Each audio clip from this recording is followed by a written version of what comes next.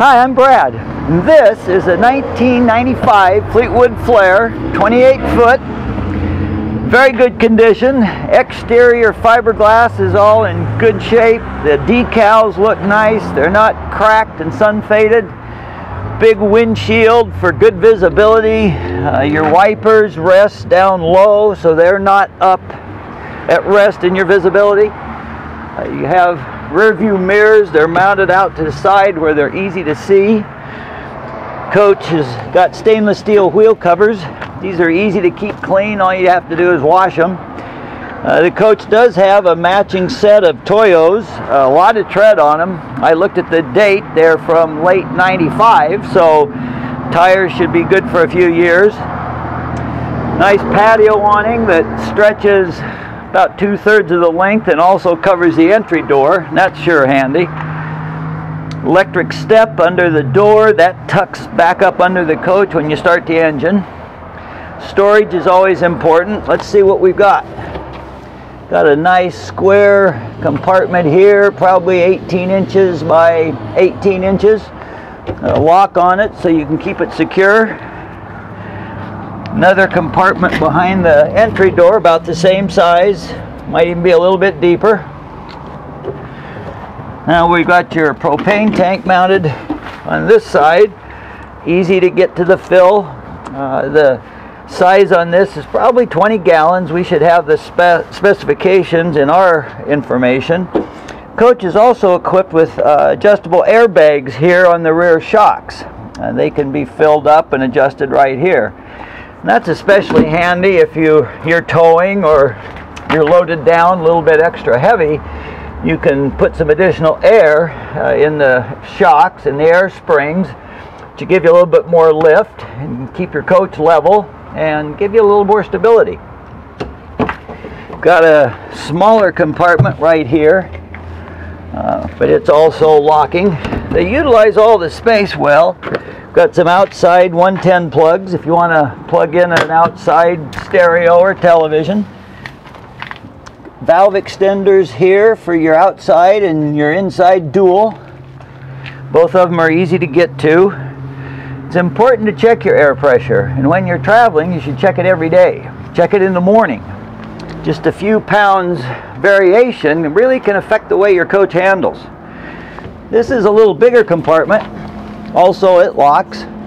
Again, you'll notice that the base on these compartments are in nice condition. They're not soiled or oily or matted at all.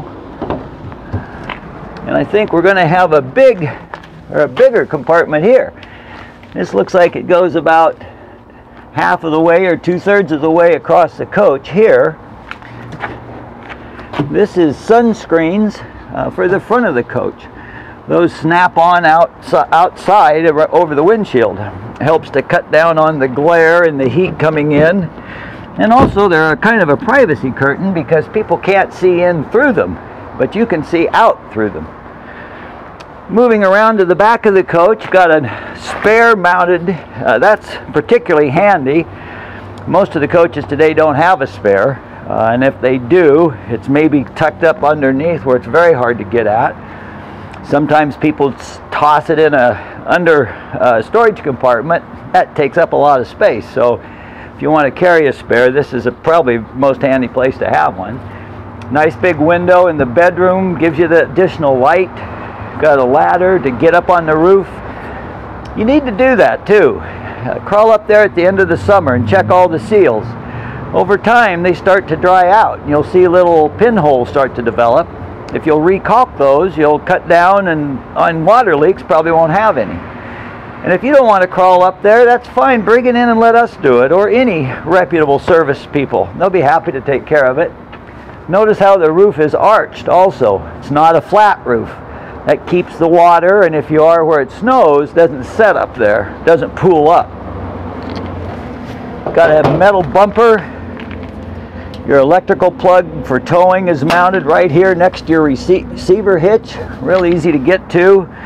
Got a brush guard here on the back to protect your tow vehicle and keep the rock chips down.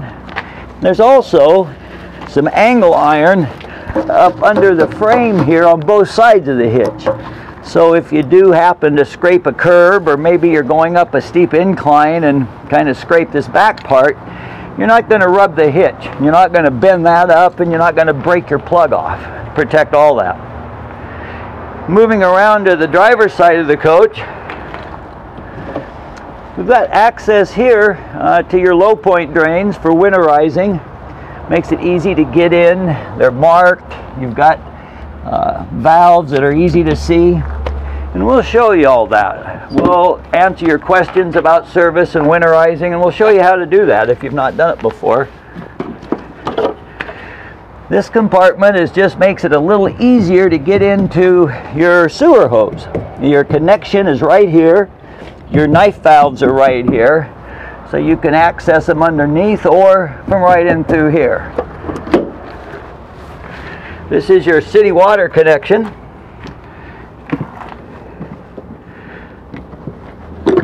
Got outside hot and cold uh, water, little handheld sprayer.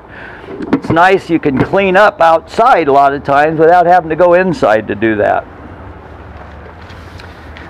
Looks like the uh, exhaust has been opened up on this. You notice a bigger exhaust pipe. A lot of times when people are doing enhancements on the uh, exhaust or the engine, it, uh, part of it is bigger exhaust and tailpipe give you a little bit more horsepower.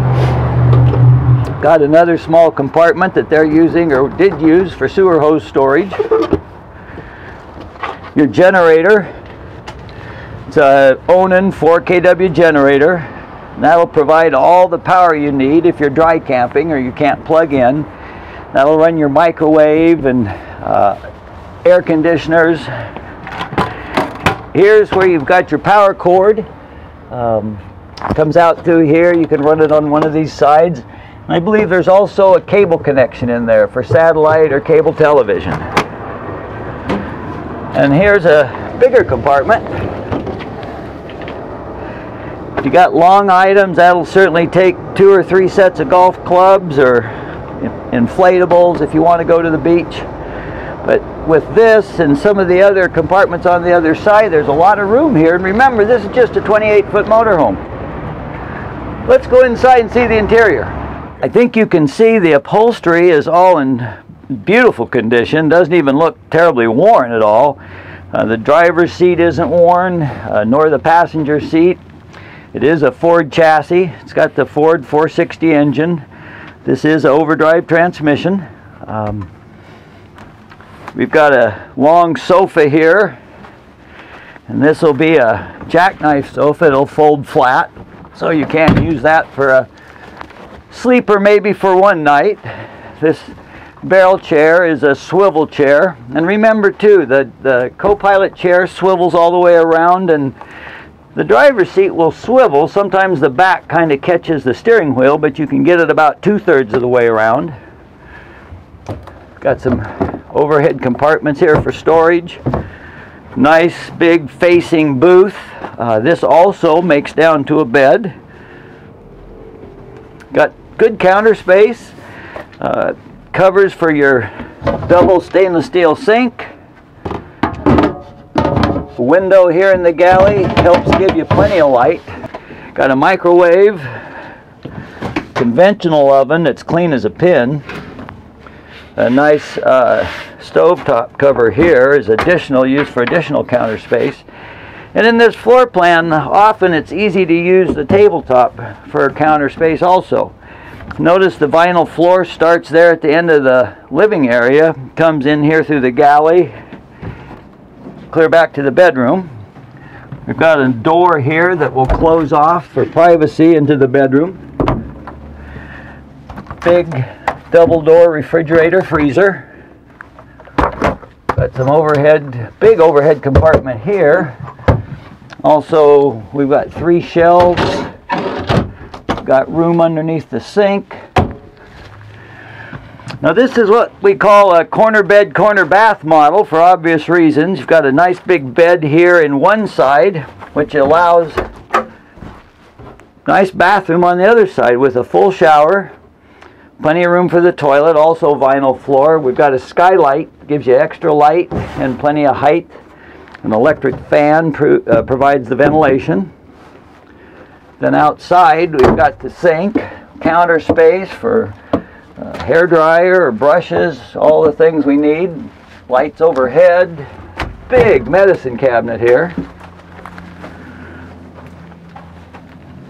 And at the foot of the bed, many times the foot of the bed is right up against the wall and you can't walk to the foot of it. But this makes it a lot better. It gives you access to all this closet space.